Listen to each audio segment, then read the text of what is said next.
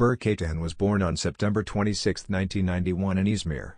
Berk Atan is the winner of 2012 Best Model of Turkey.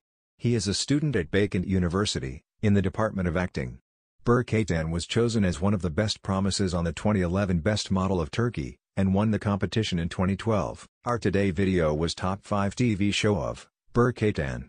So without wasting any time let's get started our video. 1.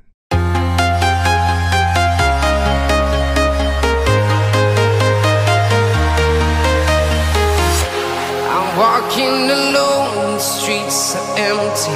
The only thing I can see is my own silhouette. I'm getting 2. step by step. The clock is ticking, but there's no time for regrets. I've been flying from town to town, from London to Taiwan.